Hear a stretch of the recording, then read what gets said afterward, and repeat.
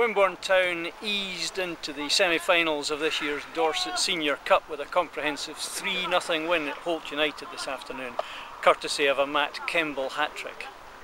On a very wet and muddy pitch, manager Steve Cuss brought back Paul Roast for his first game for a while and he joined Nathan Pepranen in the centre of the defence. Billy Maybury played on the left at the back and Captain Scott Arnold on the right. In midfield, we had Jordan Cole wide on the left, George Webb and Josh Wakefield in the middle, and Max Cream on the right, with Rob Clowes and Matt Kemble up front. Wimborne started sharply and went and went into lead after 21 minutes when when, uh, when Matt Kemble converted a penalty. For the rest of the first half, it was even, with Holt giving as good as they got.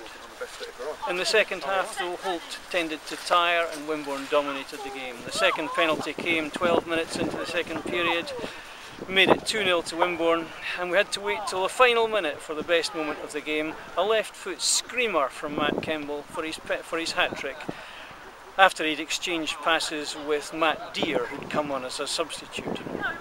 Earlier in the second half, Ollie Dyke, young 18-year-old Ollie Dyke, had come on as a substitute, and within 10 seconds of coming on, was left on a one-on-one -on -one with the Holt keeper, who did well to stop him at the edge of the box.